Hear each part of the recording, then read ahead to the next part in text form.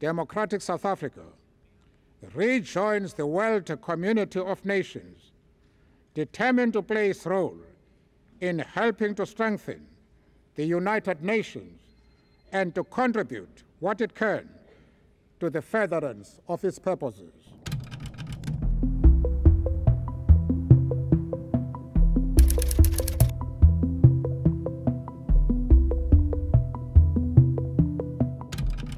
We must work for the day when we, as South Africans, see one another and inter interact with one another as equal human beings and as part of one nation united rather than torn asunder by its diversity.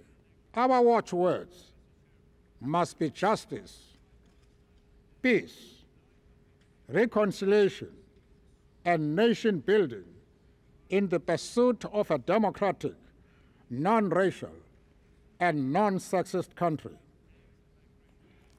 In all we do, we have to ensure the healing of the wounds inflicted on all our people across the great dividing line imposed on our society by centuries of colonialism and apartheid. The very response of the international community to the challenge of apartheid confirmed at this very point that we all understood that as long as apartheid existed in South Africa, so long would the whole of humanity feel demeaned and degraded.